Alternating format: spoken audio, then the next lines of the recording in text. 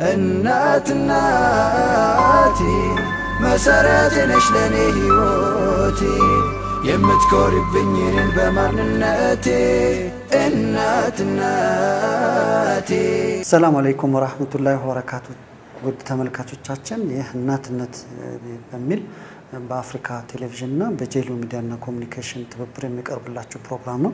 በዛሬ ፕሮግራማችን እርግዝና ማለት ምን ማለት ነው፣ እርግዝና ደግሞ ከተከሰተ በኋላ ምን ምን ነገሮችን ማየት ይኖርብናል፣ የመጀመሪያው የእርግዝና ክፍል ወይም ደግሞ first trimester የምንለው የመጀመሪያ ሶስት ወርን በእርግዝና ወቅት የሚያጋጥሙ ችግሮች ምንድን ናቸው፣ እነዚህ ችግሮችን ለመታደግ ምን ምን ማድረግ አለብን? የሚለው የእናትነት ዝግጅት ለማየት እንሞክራለን።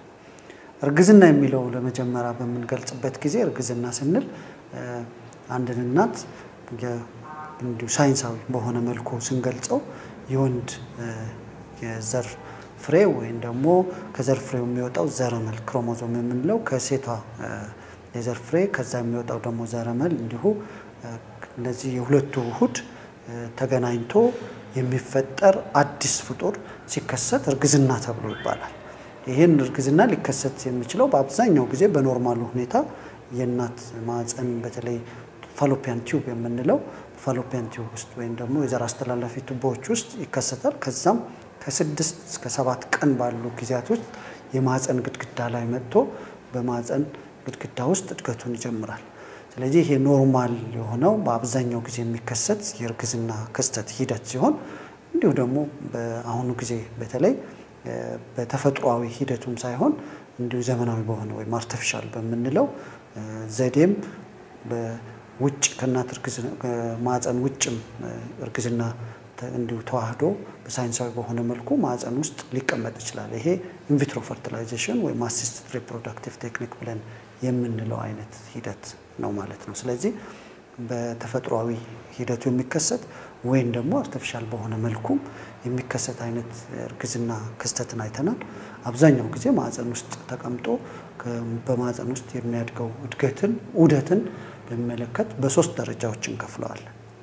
ይህን በሶስት ደረጃ በምንከፍልበት ጊዜ የመጀመሪያው ከተፈጠረበት ጊዜ ጀምሮ እስከ ሶስት ወር ያለው first trimester ብለን የምንጠራው የእርግዝና ጊዜ ነው። በዚህ ጊዜ የሚከሰቱ አንዳንድ የጤና እክሎች አሉ። እንደዚሁም ደግሞ እናትን መገንዘብ ያለባት ሳታስተውላቸው ማድረግ ያለባት ጥንቃቄዎች ምንድን ናቸው የሚሉት ነገሮች ለማየት እንሞክራለን። እንዲሁም ደግሞ በሁለተኛው ወቅት ወይም ደግሞ ሁለተኛው ትራይሚስተር የምንለው አለ። ከአራት ወር እስከ ሰባት ወር ያለው ጊዜ ያጠቃላል። በሶስተኛ ደግሞ ደረጃ ከሰባት ወር እስከሚወለድበት ጊዜ ዘጠኝ ወር ወይም አስር ወር የምንለው ጊዜ ውስጥ ያሉ የእርግዝና ዑደቶች የተለያየ ክስተት የሚያስተናግዱ ናቸው። በዛሬው ፕሮግራማችን ግን የምናየው የመጀመሪያው ትራይሚስተር ብለን የምንጠራው የእርግዝና ወቅት ምን ምን ነገሮች ሊኖሩ ይችላሉ፣ እርግዝና መሆኑና ለመሆኑ በምን ሊታወቅ ይችላል የሚለው ነገር ብናይ መልካም ይመስለኛል። በተለይ በዚች ወቅት እርግዝናን ለማወቅ ነው አይደለም ብለን ለመለየት የምንጠቀማቸው የተለያዩ ምልክቶች አሉ። ከነዛ ምልክቶች አንደኛው እናትየዋ የምታስተናግዳቸው ምልክቶች ናቸው። symptoms ብለን የምንላቸው ወይም እናትየዋ ላይ የሚኖሩ ምልክቶች። ከነዛ ምልክቶች በተለይ የወር አበባ እንትን ማለት መቋረጥ ወይም ደግሞ የወር አበባ መጥፋት አንዱና ትልቁ ምልክት ነው። ከዛ በተረፈ ደግሞ ማቅለሽለሽ ስሜት፣ ራስ ምታት፣ እንዲሁም ደግሞ የድብርት ምልክት፣ የሽንት ቶሎ ቶሎ መምጣት፣ የሰውነት መዛል ወይም ደግሞ ሙቀት መጨመር፣ እነዚህ ምልክቶች የተለያዩ ምልክቶች ሊኖሩ ይችላሉ። እንዲሁም ማቅለሽለሽ ወይም ደግሞ እንዲሁ ከፋ ሲል ወይም ደግሞ ሲብስ በትውከት መልኩም ሊመጣ ይችላል። ስለዚህ እነዚህ እናት ላይ የሚታዩ ምልክቶች ሲሆኑ በሕክምናው ደግሞ የምናረጋግጥባቸው diagnostic methods የምንላቸው definitive የሆኑ የምናውቅባቸው መንገዶች አሉ። እነዛ የማወቂያ መንገዶች በተለይ በሽንት ምርመራ የእርግዝና መሆኑ ሊታወቅ ይችላል። በደም ውስጥ በሚሰራው እንዲሁም beta HCG የምንለው የደም ምርመራ አይነት አለ፣ እርግዝናን የሚያሳይ በደም ሊታይ ይችላል። እንዲሁ ደግሞ የተለያዩ አሁን ሳይንሱ ያመጣቸው የተለያዩ የፕሮቲን አይነቶች አሉ ከ HCG ውጭም even በተፈጠረ በመጀመሪያ በ24 ሰዓት ውስጥ ራሱ አንድ እርግዝና ሊታወቅ የሚችልበት ሳይንሳዊ እድገት ወይም ደግሞ ሳይንሳዊ ቴክኒክ ተደርሷል። ከዚሁ ባለፈ ደግሞ በአልትራሳውንድ አደግ ሲል አልትራሳውንድ ላይ በማህፀን በኩል የሚሆን ወይም በሆድ የሚታዩ የአልትራሳውንድ አይነቶች አሉ። እነዛም የእርግዝና መሆኑና ለመሆኑ መለየት የሚያስችሉ ሳይንሳዊ የሆኑ በደም በሽንት እንዲሁም በአልትራሳውንድ በተለያየ መልኩ በምናይበት ማረጋገጫ እርግዝና መሆኑ ማወቅ እንችላለን። ከዚያ ይህን እርግዝና መሆኑ ከለየን በኋላ የሚደረጉ ጥንቃቄዎች ምንድን ናቸው? አንዳንዴ እንዳው እርግዝና መሆኑ ከታወቀ በኋላ የሚደረጉ ጥንቃቄዎች አብዛኛው ጊዜ እናትም ስለምታውቃቸው ወይም ቤተሰብም ስለሚያውቃቸው ጥንቃቄዎቹ የጎሉ ሊሆኑ ይችላሉ። ግን በዚሁ እግረ መንገድ ማሳሰብ ወይም ደግሞ ለህብረተሰባችን ማስገንዘብ የሚፈልገው ነገር አብዛኛው ጊዜ እርግዝና መከሰቱ ሳይታወቅ የሚደረጉ ችግሮች ወይም ማነው የሚከሰቱ ችግሮች ሊኖሩ ይችላሉ። በዛች ጊዜ የምናደርጋቸው ጥንቃቄዎች ለጽንሱ ጤንነት ወይም ለእናት ጤንነት ወሳኝ የሆኑ ሊሆኑ ይችላሉ። ለምሳሌ እርጉዝ እንደሆኑ ሳያውቁ ብዙ እናቶች ለተለያዩ አይነት ችግሮች ሊጋለጡ ይችላሉ። መድኃኒቶችን ሳያስተውሉ ሊወስዱ ይችላሉ። የተለያዩ ኮስሜቲክሶች ሊጠቀሙ ይችላሉ። የተለያዩ አይነት እንዲሁ አሁን ምርመራዎች ሊያደርጉ ይችላሉ። ለምሳሌ የራጅ ምርመራ ወይም የተለያየ አይነት የኤክስሬ አይነት ምርመራዎች ውስጥ ሊጋለጡ ይችላሉ። በፊት ለተለያዩ ሕክምና ዓላማ ተብለው የሚሰጡ መድኃኒቶች ሊወስዱ ይችላሉ። እነዛ መድኃኒቶች በእርግዝና ወቅት መለወጥ ወይም መቀየር ያለባቸው ሆነው እያለ ሳያውቁ ግን እነዛ መድኃኒቶች ሊቀጥሏቸው ይችላሉ። ስለዚህ እርግዝና መሆኑ ከታወቀ በኋላ የሚደረጉ ብዙ ጥንቃቄዎች ሊታወቁ ይችላሉ። በሕክምና ባለሙያውም እንዲሁም ደግሞ በእናትም በኩል ሊታወቁ ይችላሉ። ግን አብዛኛው ጊዜ አንድ ሴት መገንዘብ ያለባት በተለይ ትዳር ውስጥ የሆነችና መከላከያ የማትጠቀም ሴት ከሆነች እርግዝና ሊከሰት ይችል ይሆናል ብላ አስቀድማ ማሰብ፣ ያንን አስባ ደግሞ እነዚህ የጠቀስናቸው ነገሮች እርግዝና ቢከሰት ለእርግዝናው ምን ጉዳት ያመጣሉ፣ ሊያስከስቱ ይችላሉ የሚለው ጥንቃቄ ማድረግ አለባት፣ ግንዛቤ ውስጥ መሆን አለባት። ምክንያቱም በዚች ጊዜ በጣም ሴንሲቲቭ የሆነ ወቅት ነው ይሄ እርግዝና ወቅት።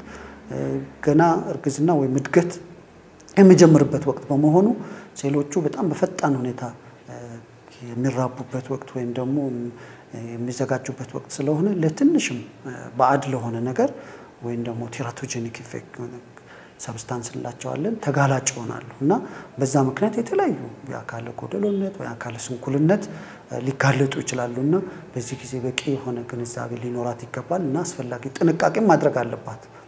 እርግዝና ይኑር ማይኑር ሊከሰት ይችላል ወይም እርግዝና ሊሆን ይችላል የሚለው ጥንቃቄ ወይም ደግሞ ግንዛቤ መጨበጥ አለባት ብዬ ነው የምለው። ከዛ በኋላ የአእምሮ ዝግጅት ማድረግ አለባት። እርግዝና ሲከሰት ምን ምን ለውጦች ሊኖሩ ይችላሉ? የአእምሮ ዝግጅት በምንልበት ጊዜ አብዛኛው ወቅት የእናት ብቻ ችግር እንዳልሆነ መገንዘብ ይኖርብናል። እርግዝና ሲከሰት የእናትየዋ ችግር እንደሆነ ወይም የእናትየዋ ጉዳይ እንደሆነ ወደ እናትየዋ ማስጠጋት አግባብነት የለውም።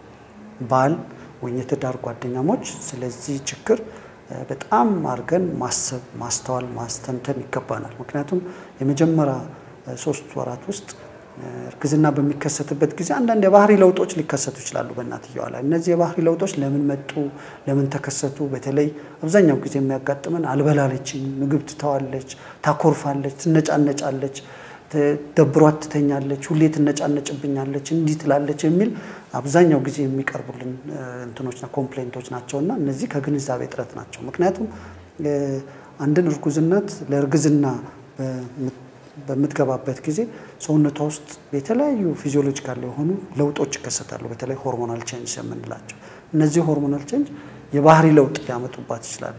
እነዚህ ባህሪ ለውጦች አንደኛውና ዋነኛው መነጫነጭ ሊሆን ይችላል፣ ማኩረፍ ሊሆን ይችላል፣ ማልቀስ ዝም ብሎ በሆነው ባልሆነው ነገር መደበት ወይም ደግሞ ድብርት ውስጥ መግባት ሊሆን ይችላል። ሽንትን ቶሎ ቶሎ መምጣት፣ ምግብ ሽታ ማስጠላት፣ ከሩቁ ድሮ ማታሸተው ነገር አሽታ እፊ ማለት ወይም ደግሞ ሸትተኛ አስወገዱልኝ ማለት፣ ለዛ ነገር ደግሞ ምግብን ማስወገድ፣ መክሳት፣ ሰውነቷ የምግብ ፍላጎት ከማጣቱ የተነሳ እነዚህ አይነት ለውጦች ሊኖሩ ስለሚችሉ የትዳር ጓደኛሞች ወይም ባሎች ይህን ነገር ካላስተዋልን ከፍተኛ የሆነ ለጭቅጭቅ ወይም ለብጥብጥ ውስጥ ልንጋለጥ እንችላለን። እና አስቀድመን ምን ማለት ነው እርግዝና፣ ምን ለውጦች ሊኖሩ ይችላሉ፣ እነዚህ ለውጦች በምን መልኩ ነው ማስተናገድ ያለብን፣ በትዳር ጓደኛዋ ድጋፍ የምታገኝ ወይም ደግሞ እነዚህ ነገሮችን ግንዛቤ ያለው የትዳር ጓደኛ ከሆነ አብዛኛው ጊዜ ለችግሮች ሳይጋለጡ ቶሎ ብለው ወደ ሕክምና ተቋም በመሄድ ለውጡ ምን እንደሆነ ግንዛቤ አግኝተው አስፈላጊ የሆነ እርዳታ ሊያገኙ እንደሚችሉ መገንዘብ አለብን። ከዛም አልፎ በተለይ ከባህሪ ለውጥ ብቻ ነው ያየ ነው። ከዛ በመጀመሪያ ሶስት ወራቶች ውስጥ ሊያጋጥሙ የሚችሉ የጤና እንከኖች ወይም ችግሮች የምንላቸው በአብዛኛው ጊዜ የሚያጋጥሙን በተለይ የደም መፍሰስ በማህፀን ውስጥ የተለያዩ አይነት የውርጃ አይነቶች ልትጋለጥ ትችላለች። ስለዚህ ደም ከፈሰሳት አንድን እርጉዝ እናት በመጀመሪያ ሶስት ወቅት ምን ሊሆን ይችላል? ትክክለኛ በማህፀን ውስጥ ነው የተከሰተው? ማህፀን ውስጥ ከተከሰተ እርግዝናው እየተቋረጠ ነው? ምን ችግር አለው? ከማህፀን ውጭ እርግዝና ነው የተከሰተው ወይስ አፈጣጠሩ ችግር ያለው አይነት እርግዝና ነው የሚለው መጀመሪያ መገንዘብ ይኖርብናል። ስለዚህ ቶሎ ብሎ የጤና ተቋም ሄዶ ምርመራ በማድረግ ምን አይነት ችግር እንደሆነ ማወቅ ይኖርብናል ማለት ነው። እንዲሁም መጀመሪያ ሶስት ወር ውስጥ ማንኛውም አይነት የሆድ ህመም ካላት በተለይ ታችኛው የሆድ ክፍል ውስጥ የሚሰማ የሆድ ህመም ካላት ወይም ደግሞ ቁርጠት ካላት ቶሎ ብሎ የሕክምና ተቋም በመሄድ ምንድነው ችግሩ፣ ምን ተከስቷል የሚለው ለይታ ማወቅ ይኖርባታል ማለት ነው። እንዲሁም በጣም የተለያዩ አይነት የጤና ችግሮች ሊያጋጥሙ ይችላሉ። የፊኛ ኢንፌክሽን፣ የተለያዩ አይነት እንትኖች ችግሮች ውስጥ የምግብ ዑደትን መዛባት ወይም ደግሞ የምግብ እጥረት ሊያጋጥሙ ይችላሉ። dehydration የምንለው አለ። በተለይ hyperemesis gravidarum የምንለው ከትውከትና ከማቅለሽለሽ ጋር ተያይዞ የምግብ እጥረቶች ሰውነት ውስጥ ሊያጋጥሙ ይችላሉ እና እነዛ ምንድን ናቸው ብሎ መገንዘብ ወይም ደግሞ ማየት ግድ ነው የሚሆንብን። ከዛ እርግዝናው ከታወቀ በኋላ ምን ምን ምርመራዎች ናቸው ማድረግ ያለብን? ለእርግዝናው ጤንነት ሲባል ወይም ለእናትየዋ ጤንነት ሲባል መደረግ ያለባቸው ምርመራዎች ምንድን ናቸው? በቀላሉ የሚደረጉ ምርመራዎች በየትኛውም የጤና ተቋማት መደረግ ያለባቸው የደም አይነት blood group የምንለው አለ ወይ Rh factor የምንለው በተለይ ከሾተላይ ጋር ተያይዞ የሚነሳ Rh factor የምንለው Rh negative ነው positive የሽንት ምርመራ፣ የፊኛ ኢንፌክሽን፣ በጣም የኩላሊት ኢንፌክሽን የተለመዱ ናቸው። በዚህ ጊዜ ማረጋገጥ ከዛ በኋላ አልትራሳውንድ አይተነው ጤንነቱ ጤነኛ እርግዝና ነው፣ በትክክለኛ ቦታ ነው ነው አይደለም የሚለው ማወቅ እንዲሁም ደግሞ በጣም መታወቅ ያለባቸው እርግዝናው ሲቀጥል በእናትየዋ ላይ ያሉ አንዳንድ ችግሮች ሳታውቃቸው የኖረቻቸው የጤና እክሎች ጽንስ ላይ ምን ችግር ሊያመጡ ይችላሉ ተብለው የሚታወቁ ለምሳሌ syphilis የሚባል ወይም ደግሞ ድሮ አጠራር ውርዴ የምንለው አለ የለም ካለ ሕክምና ቶሎ ተደርጎ ጽንሱ ላይ ችግር ሳያመጣ የጉበት ቫይረሶች አሉ። የተለያየ አይነት ጉበት ቫይረሶች hepatitis B፣ hepatitis C የምንላቸው አሉ የሉም ካሉ ምን መደረግ አለበት? እንዲሁም ደግሞ በአሁኑ ወቅት በተለይ የኤች አይ ቪ ማንኛውም እርግዝና እርጉዝ እናት እናትን ብቻ ሳይሆን እንዲሁም የትዳር ጓደኛ ወይም አባትንም ምርመራው አድርጎ የራሱን ጤንነት አውቀው ከዛ በኋላ ወደ ልጅ እንዳይተላለፉ እነዚህ አይነት ኢንፌክሽኖች ቅድም የጠቀስናቸው ውርዴ፣ syphilis ያልነው ሄፓታይቲስ ወይም ደግሞ ኤች አይ ቪ ካሉ ምን መደረግ አለባቸው? ምን አይነት ጥንቃቄስ ማድረግ ያስፈልጋል? ከዛ በተረፈ ደግሞ እንዲሁ በጣም ወሳኝ የሆኑ የደም ማነስ አለ ካለ በምን ማስተካከል ይቻላል?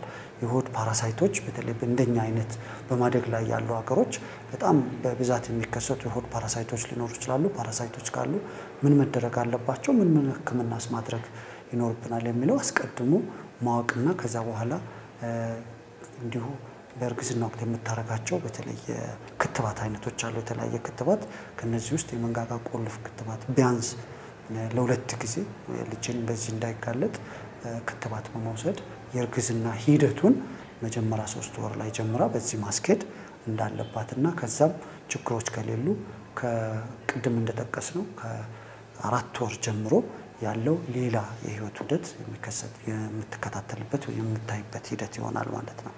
ስለዚህ ለማጠቃለል የእርግዝና ክስተቱ መጀመሪያ እርግዝና ነው አይደለም የሚለው የተለያዩ ምልክቶችን በማየት እንደዚሁም ላቦራቶሪ ምርመራዎች በማድረግ እርግዝና መሆኑ ማረጋገጥ፣ ከተረጋገጠ በኋላ እርግዝና ጤነኛ ቦታ ነው በጤነኛ ሁኔታ ነው ያለው ወይ የሚለው check ማድረግ እንዲሁም በእርግዝና ወቅት የሚያጋጥሙ በተለይ በመጀመሪያ ሶስት ወር የሚያጋጥሙ የጤና እክሎች አብዛኛው ጊዜ በተለይ ከማህፀን ጋር መድማት ወይም vaginal bleeding የምንለው አለ የለም፣ ካለስ ደግሞ ምክንያቶቹ ምንድን የትኞቹ መንስኤዎች ናቸው ያመጡት የሚለው check ማድረግ እንዲሁም ደግሞ የጤና ምርመራዎችን በተለይ ከእርግዝናው ጋር ተያይዞ ለወደፊት የደም አይነት የኢንፌክሽን አይነቶች መኖር አለመኖራቸውን አረጋግጦ አስፈላጊ የሆነ እንዲሁ የምንሰጣቸው መድኃኒቶች አሉ። ደም ማነስ እንዳይከሰት፣ ፓራሳይቶች እንዳይኖሩ እና አስፈላጊ የሆኑ ጥንቃቄዎች የክትባት አይነቶችን መጀመርና የእርግዝናው ፕላን ማድረግ የመጀመሪያው እርግዝና ወቅት የሚደረጉ